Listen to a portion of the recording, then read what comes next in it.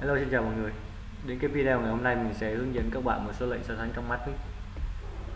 Về cấu trúc của nó thì nó sẽ gồm 4 phần. Đầu tiên là tên lệnh Thứ hai là kết quả trả về Thứ ba là giá trị thứ nhất và thứ hai là giá trị thứ hai cần so sánh. Cái chỗ kết quả trả về và giá trị thứ nhất chúng ta cách nhau bằng một dấu phẩy nhé các bạn. Để, rồi ờ, bạn phải lưu ý thứ tự của nó. Đầu tiên chúng ta phải là kết quả trả về rồi mới đến hai giá trị nhé nếu mà chúng ta thay đổi giá trị thì nó sẽ sai. Kết quả trả về thì chúng ta lưu ý như sau. Trong câu lệnh so sánh thì chúng ta so sánh có hai kết quả, đó là đúng hoặc sai. Như vậy thì tương ứng với đúng thì giá trị trả về nó sẽ mang giá trị là một, còn sai thì giá trị trả về sẽ là không. Và trong cái các lệnh so sánh này chúng ta có 5 lệnh. SIQ có nghĩa là so sánh bằng SLT là so sánh nhỏ hơn SLE là so sánh nhỏ hơn hoặc bằng SGT là so sánh lớn hơn SGE là so sánh lớn hơn hoặc bằng các bạn để ý ngay trong câu lệnh bắt đầu là luôn luôn là chữ S. Bắt đầu là chữ S câu lệnh so sánh bắt đầu là chữ S. Và thứ hai là câu lệnh nào có chữ a thì câu lệnh đó sẽ so sánh có dấu bằng ở trong đó. Rồi ok.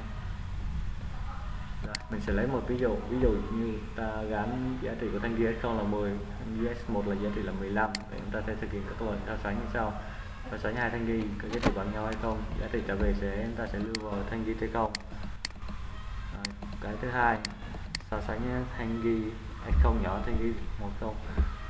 Và chúng ta lưu vào giá trị trở về trong thanh ghi t1 à, câu lệnh thứ ba là chúng ta sẽ so sánh thanh ghi s0 nhỏ hơn hoặc bằng thanh ghi s1 và trả về trong thanh ghi t2 câu lệnh thứ tư, chúng ta so sánh thanh ghi s0 lớn hơn ghi s1 và câu giá trị trả về trong thanh ghi t3 câu lệnh thứ tư là chúng ta so sánh thanh ghi s0 lớn hơn hoặc bằng thanh ghi s1 giá trị trả về nằm ở trong thanh ghi t4 Đây.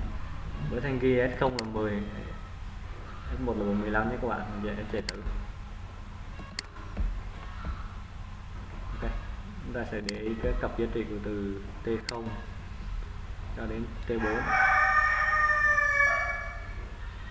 Rồi, mình sẽ quay lại phần code này cho các bạn nhìn cho rõ Rồi, về so sánh bằng thì chúng ta thấy thấy là 10 bằng 15 có nghĩa là đây là sai nhưng kết quả trở về sẽ là số 0 câu lại thứ hai so sánh nhỏ hơn thì tất nhiên 10 sẽ nhỏ hơn 15 vậy trở về là 1 câu lệnh thứ ba, so sánh nhỏ hơn hoặc bằng s0 nhỏ hơn 1 10 nhỏ hơn bằng 15 đây là đúng. Như vậy trở về giá trị là một. Câu lệnh thứ tư, so sánh s0 lớn hơn 1 10 lớn hơn 15 đây là sai. Nhưng giá trị trở về là số 0 câu lệnh thứ năm, so sánh lớn hơn hoặc bằng 10 lớn hơn hoặc bằng 15 đây là sai. Nên giá trị trên như t4 là bằng 0